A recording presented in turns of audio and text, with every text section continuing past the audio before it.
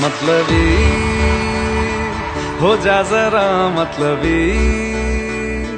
दुनिया की सुनता है क्यों? खुद की भी सुन ले कभी। मतलबी। हो जा जरा मतलबी। दुनिया की सुनता है क्यों? खुद की भी सुन ले कभी। I, Novleen Lobo, welcome you all to the Health is Wealth Day of the induction ceremony.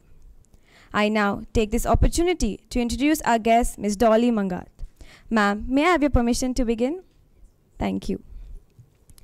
Ma'am is a psychologist and has pursued various courses on astrology, numerology, palmistry from universities of Historic Science in Scotland, Germany, and Switzerland. She is a prominent astrologer and psychotherapist and writes for national and international dailies. Ma'am is a regular speaker on BBC. She holds positive workshops for educational institutes and corporate bodies.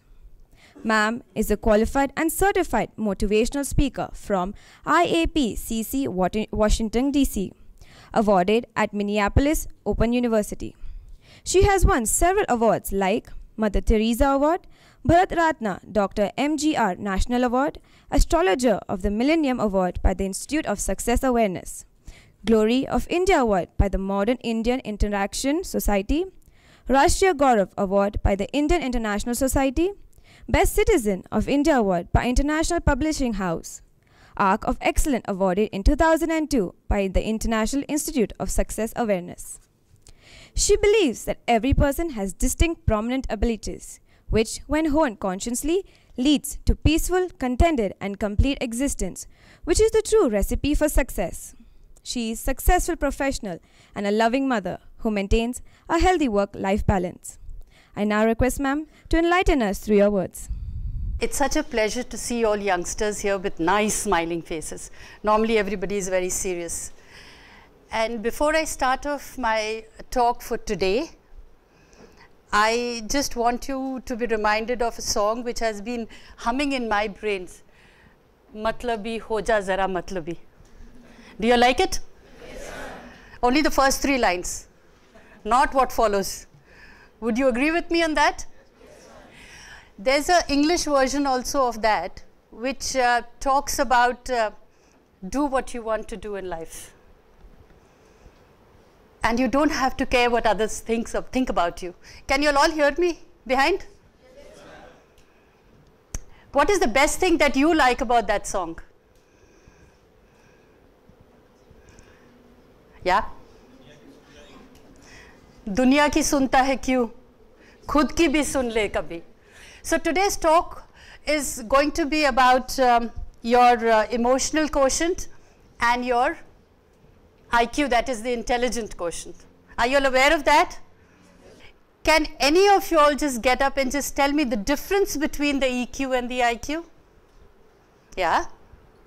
Ma'am, uh, IQ is intelligent quotient, Yeah. whereas where we measure our intelligence, it's the mental age by the chronological age into 100, Okay. whereas EQ is the emotional quotient, where we kind of measure our emotions. Uh, kind of measure or can you measure? A yes and a no. Yes. Uh, I beg to differ on that. No. IQs can be measured. EQs have to be felt. Yeah? Yeah, right. But today when I'm talking here, though I've, I am a professional astrologer and a numerologist, I've done my PhD in occultism, but I need to tell you all here, I do not believe in predictive sciences. I believe that all these sciences are basically so creative that actually you can start creating your own prophecies once you know about your own selves. Would you all agree with me on that? Yeah? So today when we are talking about IQ in synergy with EQ, I just need you all, all to understand one thing, that when we are talking about our emotional quotient, we are talking about our subconscious mind. And when we are talking about our IQ, that is the intelligent quotient, we are talking about our conscious mind. Now that you all are on the threshold of your life, how many of you are eager to go? eager to just kill it? Wow, seems like 100%. And how many of you are really, really confident? Now, I want truthful answers because I believe in uh, honesty, not to me, but honesty to yourself. How many of you are confident?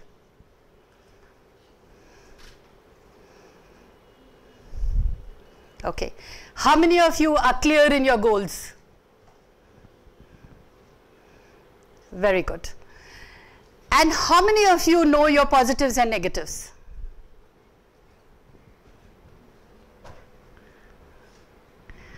Any second thoughts?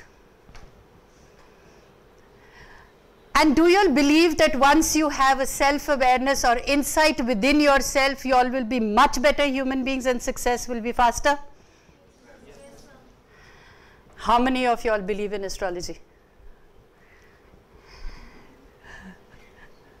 Don't be shy. If you believe in astrology, you'll believe in astrology. If you all don't believe in astrology, you all don't believe in astrology. Perfect. How many of you all believe in numerology? Okay. Just to make life simpler, astrology and numerology are sisterly sciences. To make it further simpler, I would just tell you astrology and numerology, the study of this subject, helps you to know yourself better and eventually you can be the architects of your fate. Life is what you make it. What we are born with is destiny, but what we make out of that destiny, how we shape it, is completely in our hands.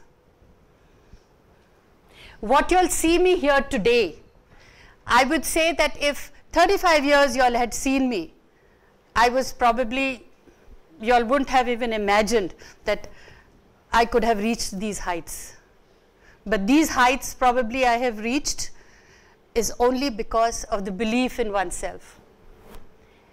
Is only because the day I started understanding myself better, I became a little matlabi.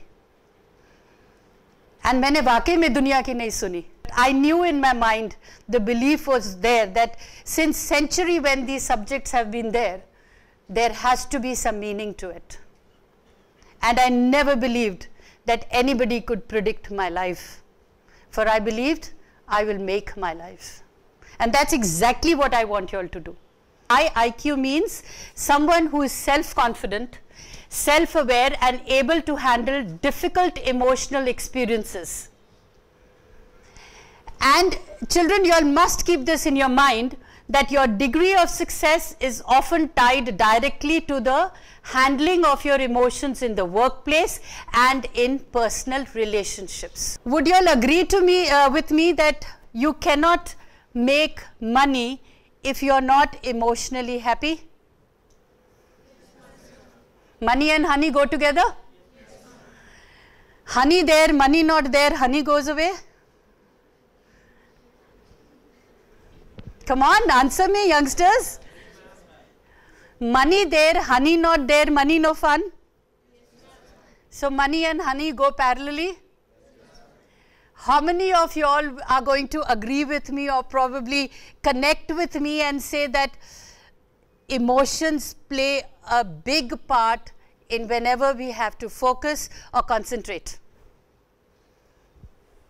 अरे बाप रे क्या कहने That's nice if you all are aware of it, how many of you all, or probably um, can you all just um, again connect with me and let me know that when emotionally you are not happy, have you all ever analyzed why you all are not happy?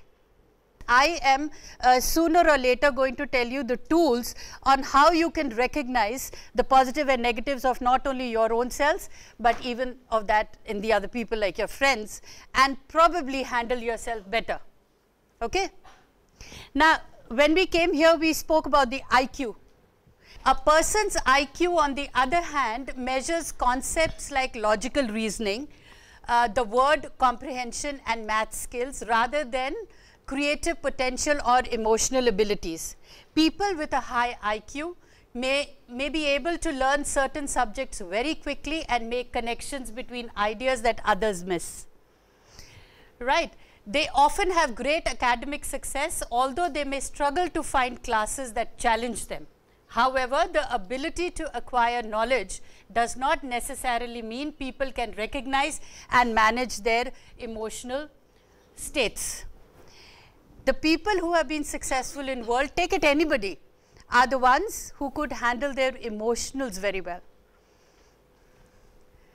While coming on my way to this institution, I had a very wonderful uh, person with me uh, by the name of Mehfooz. Where are you, Mehfooz? Yeah. And uh, he very nicely, uh, better, better, uh, he, he, we were talking about um, certain aspects of life and something uh, about uh, him which uh, really uh, triggered my thoughts was when he asked us a simple question, is corporate life difficult?